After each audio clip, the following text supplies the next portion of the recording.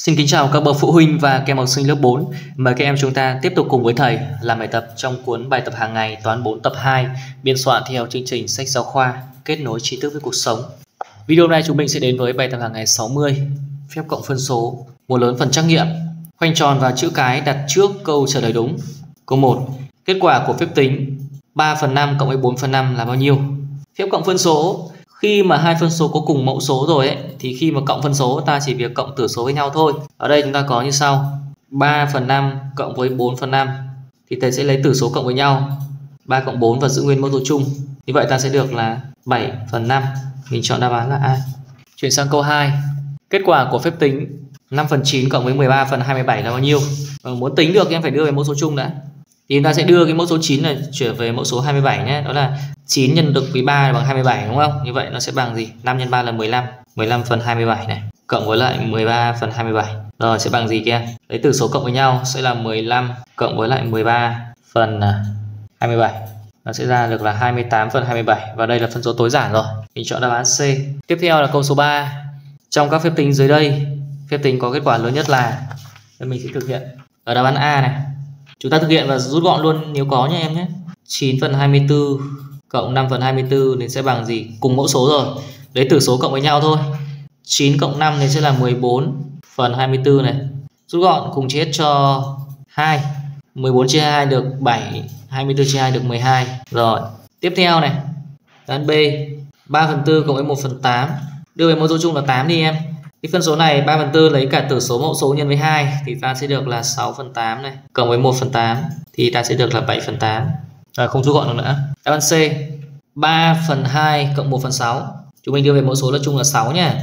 3 phần 2 ta lấy cả tử và mẫu cùng nhân với 3 thì mình sẽ được là 9 phần 6 cộng với gì nào? Cộng với 1 phần 6 thì nó sẽ ra được là 10 phần 6 tiếp theo có thể rút gọn nó bằng là 5 phần 3 cùng chia cho 2 mà. Tiếp theo là đáp án D này. 2 phần 3 cộng với lại 1 phần 3 thì nó sẽ bằng là 3 phần 3 3 phần 3 thì nó bằng 1 Ở đây dễ dàng chúng mình chọn được đáp án rồi các em ạ. Các mình thấy chưa nhỉ? Chúng mình đang thấy là các mẫu số của chúng nó đang rất khác nhau. Thì Tuy nhiên nếu em tinh ý ra ta để thấy là 5 phần 3 là là phân số duy nhất lớn 1 Thế còn các phân số còn lại thì nó đều bé hơn 1 này. Đáp án B bé hơn 1 Đáp án A bé hơn 1 Thế còn đáp án D nó bằng 1 rồi.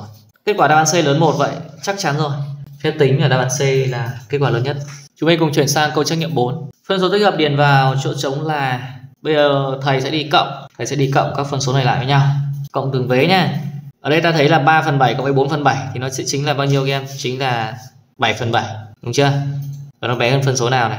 Bên này 2 phần 3 cộng với lại 13 phần 21 thì chúng ta phải quy đồng đã. Đưa về mẫu số chung là 21 thì ta có được là 3 x 7 là 21 vậy 2 x 7 là 14 này 14 phần 21 này cộng với lại 13 phần 21 này xong chưa rồi tiếp tục này bài phần 7 thì cứ để yên đó lại nhé nhớ phân số nào này ở đây 14 phần 21 cộng với 13 phần 21 thì em sẽ ra được là 27 phần 21 thầy thấy rằng ở đây 27 phần 21 thì chúng mình có thể rút gọn được nhé 7 phần 7 nó bé hơn này 27 phần 21 cùng chia cho 3 em ạ cùng chia cho 3 ta sẽ được là tử số chia cho 3 ta sẽ được là 9 này 21 chia 3 được 7 chúng ta nhìn đáp án này có đáp án D này Kem điền và thử xem.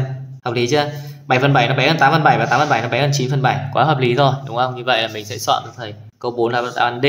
Chuyển sang câu 5 xe thứ nhất chở 3 phần 2 tấn gạo, xe thứ hai chở nhiều hơn xe thứ nhất 5 phần 2 tấn gạo. Vậy số gạo cả hai xe chở được là? Muốn tính cả hai xe em phải biết được là xem là xe, mỗi xe chở bao nhiêu, đúng không? Xe thứ nhất là mình biết rồi 3 phần 2 tấn này. Xe thứ hai này chở nhiều hơn xe thứ nhất. Đang cần tìm xe thứ hai mà xe ra nhiều hơn, cần tìm cái nhiều hơn ta phải cộng. Nó sẽ bằng 3 phần 2 này, chúng ta cộng cái nhiều hơn, cộng 5 phần 2 nữa. Thì ta sẽ được là 8 phần 2 tấn. Và thầy đệ sẽ để nguyên 8 phần 2 ở đây, thầy chưa rút gọn vội, bởi vì lát nữa chúng ta phải cộng cả hai xe, chúng ta vẫn phải để mẫu số chung mà, đúng không em? Như vậy cả hai xe này. Thầy có 3 phần 2 là xe thứ nhất, cộng với 8 phần 2 là xe thứ hai, thì ta sẽ được là 11 phần 2 tấn. Như vậy mình sẽ chọn cho thầy là đáp án B. Chuyển sang câu trắc nghiệm 6 Lớp 4A có số học sinh giỏi chiếm 1 phần 9 số học sinh của lớp. Số học sinh khá chiếm 2 phần 3 số học sinh của lớp. Vậy, số học sinh giỏi và số học sinh khá của lớp 4A chiếm số phần là Chúng ta đọc đề đã thấy rằng là các phân số ở đây là đều so với số học sinh của cả lớp đều cùng so với cả lớp rồi, cho nên là để tính số học sinh giỏi và học sinh khá chiếm bao nhiêu phần thì ta sẽ lấy hai phân số này cộng với nhau thôi ta sẽ lấy 1 phần 9 cộng với lại 2 phần 3 và chúng mình đưa về mẫu số chung là 9 nhé. Nó sẽ bằng 1 phần 9 cộng với lại 6 phần 9 và nó sẽ bằng 7 phần 9 và nó đều so với số học sinh cả lớp. Như vậy mình sẽ chọn cho thầy câu 6 là đáp án B. Và chúng mình đã làm xong phần trắc nghiệm rồi. Tiếp theo mời các em chúng ta chuyển sang hai lớn phần tự luận của bài tập hàng ngày 60 bài 1 tính. Phép cộng phân số. À, chúng mình thấy là trong cái bài 1 này các phân số đều đã có cùng mẫu số rồi. Khi cộng, chúng ta chỉ việc cộng giữa các tử số với nhau thôi. 5 phần 17 cộng với 11 phần 17 thì chúng mình sẽ lấy 5 cộng với 11 trên 17 đúng không các em? Mình sẽ viết này 5 cộng với 11 trên 17 5 cộng với 11 thì ta sẽ được là 16 phần 17 và cái phân số này đã tối giản rồi các em ạ. Tiếp tục này 4 phần 12 cộng với 3 phần 12 cùng mẫu số rồi, ta sẽ lấy tử số cộng với nhau thôi. 4 cộng với 3 phần 12 thì nó sẽ bằng là 7 phần 12 phân số này cũng tối giản rồi. Tiếp đến 8 phần 15 cộng với 4 phần 15 ta lấy ờ, tử số cộng với nhau. 8 cộng 4 phần 15 8 cộng 4 thì bằng ờ, 12 phần 15 12 phần 15 đến đây ta rút gọn các em nhé. Nó cùng ờ, chia hết được cho 3 các em ạ. 12 chia 3 ta được 4 này. 15 chia cho 3 thì em sẽ được là 5 4 phần 5 tiếp đến, hai phân số này cùng có mẫu số là 24 rồi. Ta lấy tử số cộng với nhau. Nó sẽ bằng 11 cộng với 7 phần 24 thì nó sẽ ra được là 18 phần 24 phân số này ờ, vẫn chưa tối giản mình phải rút gọn đi. Ta thấy cả tử số và mẫu số cùng chia cho 6 18 chia 6 ta được 3 24 chia 6 ta được 4 như vậy ta được phân số tối giản là 3 phần 4 mình đã xong bài 1 rồi. Tiếp theo mời các em chúng ta chuyển sang bài tự luận 2 tính. Trong bài này chúng ta cộng uh, hai phân số này nó chưa cùng mẫu số. Vậy thì việc đầu tiên chúng ta phải đưa về mẫu số chung đã. 3 phần 7 và 5 phần 21 thì mẫu chung là 21 rồi. Bởi vì là 21 nó chia được cho 7 Phân số 3 phần 7 ta sẽ lấy cả tử số và mẫu số cùng nhân với 3 nhé. Thì ta sẽ được mẫu là 21 đấy. 3 x 3 là 9 này, 7 x 3 là 21. Thì ta sẽ có 9 phần 21 cộng với lại 5 phần 21 bằng này. Bây giờ cùng mẫu số lấy tử số cộng với nhau. Thì ta sẽ lấy 9 cộng với 5 phần 21. 9 cộng 5 là 14 này. 14 phần 21. Rồi 14 phần 21 các em nhé. Tiếp theo, hai phân số này ta thấy mẫu số chung sẽ là 35. Bởi vì 35 nó chế được cho 5 đấy em. 5 x 7 là 35 như vậy phân số này ta sẽ lấy cả tử số mẫu số nhân với 7 nhé. 4 x 7 là 28 5 x 7 là 35 cộng với lại 13 phần 35 này. Rồi, bây giờ cùng mẫu số rồi, ta sẽ lấy tử số cộng với nhau. Nó sẽ bằng là 28 cộng với 13 trên 35 này. Bây giờ các em ờ, thực hiện cộng này 28 các em cộng với 13 thì em sẽ ra được là 41 phần 35 phân số này không tối giản được nữa.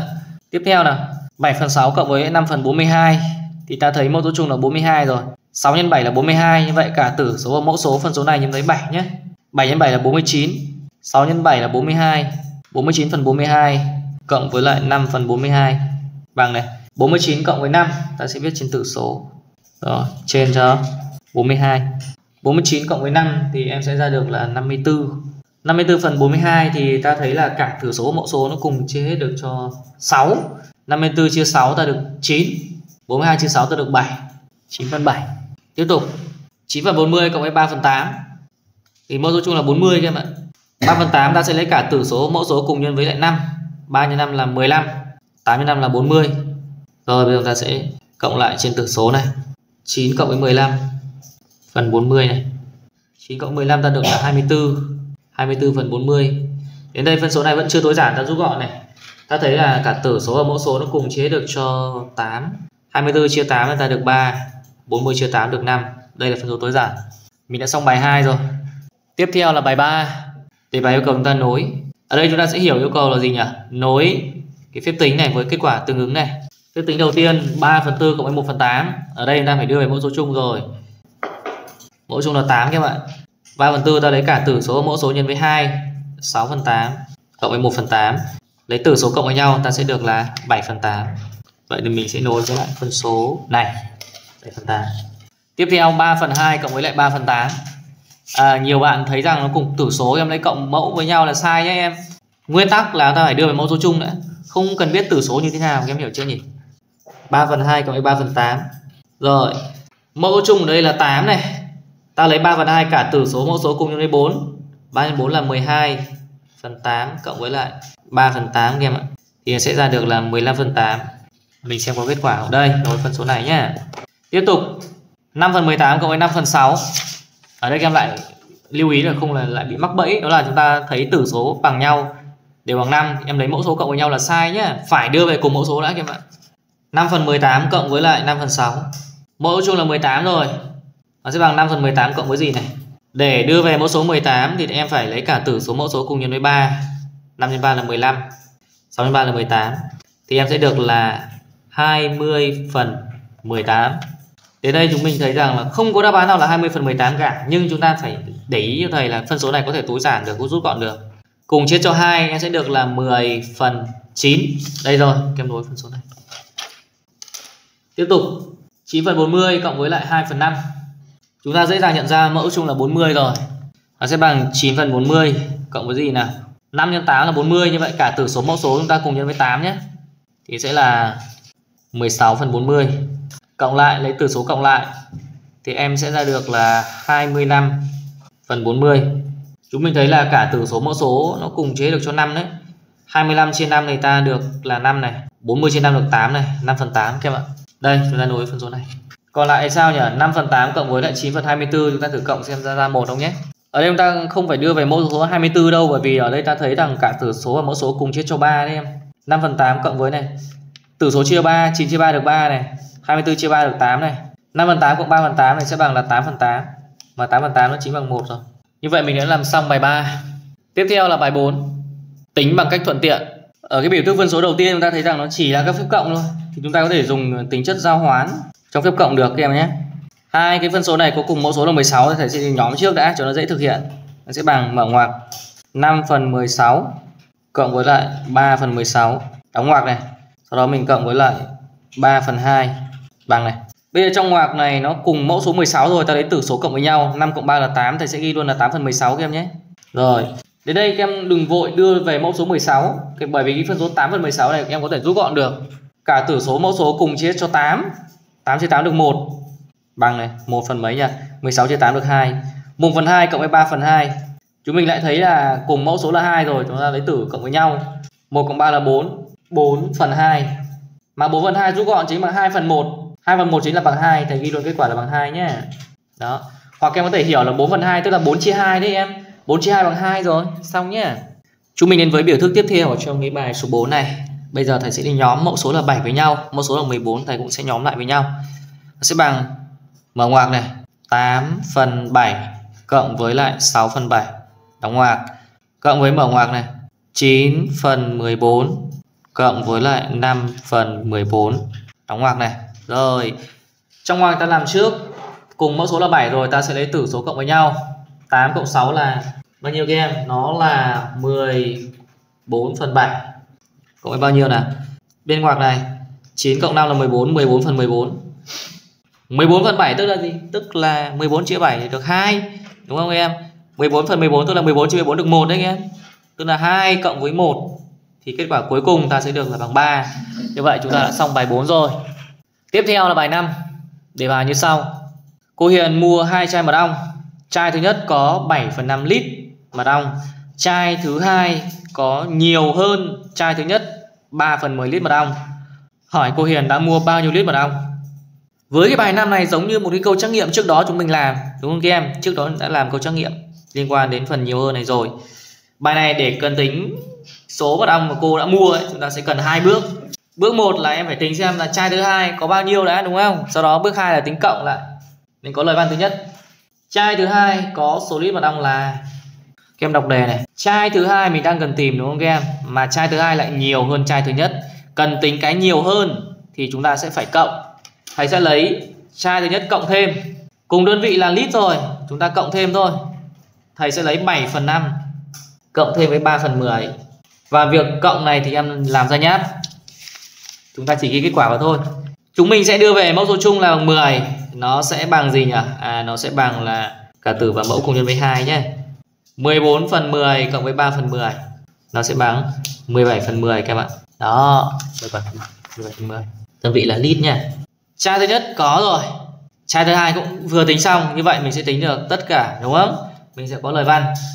Cô Hiền đã mua số lít mật ong là mình có phép tính là gì nhỉ? Lấy chai thứ nhất cộng chai thứ hai thôi. Thầy sẽ lấy chai thứ nhất là 7 phần 5 lít này. Cộng với chai thứ hai là 17 phần 10 lít. Chúng ta lại cộng ra nháp thôi các em ạ. Hai phân số này mẫu số chung là 10 thì thầy sẽ đưa về bằng gì nhỉ? À, nó sẽ bằng 14 phần 10 cộng với 17 phần 10 cộng lại thì ta sẽ được là 31 phần 10 đơn vị là lít. Và bây giờ mình ghi đáp số được các em ạ. Đáp số 31 phần 10 lít. Lít gì nhỉ? À lít mật ong chúng mình đã làm xong bài số 5 rồi. Tiếp theo chúng ta đến với bài tự luận 6 đề bài như sau.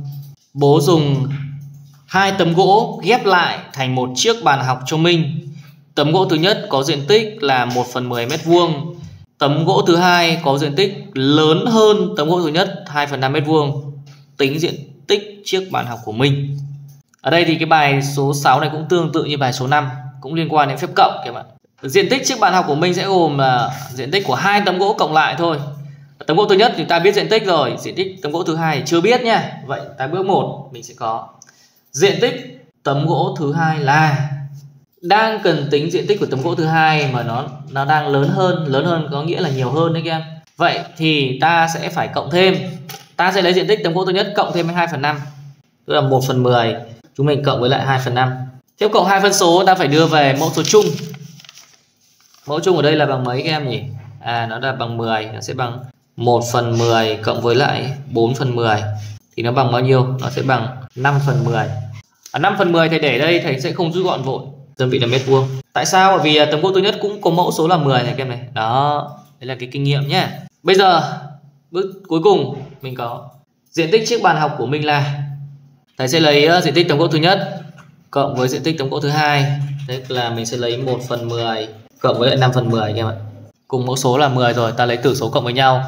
1 phần 10 cộng 5 phần 10 ta lấy 1 cộng 5 bằng 6 6 phần 10 và cẩn thận em rút gọn lần nữa, cùng chia cho 2 nó sẽ bằng là 3 phần 5 đơn vị là mét vuông, đáp số cuối cùng là 3 phần 5 mét vuông.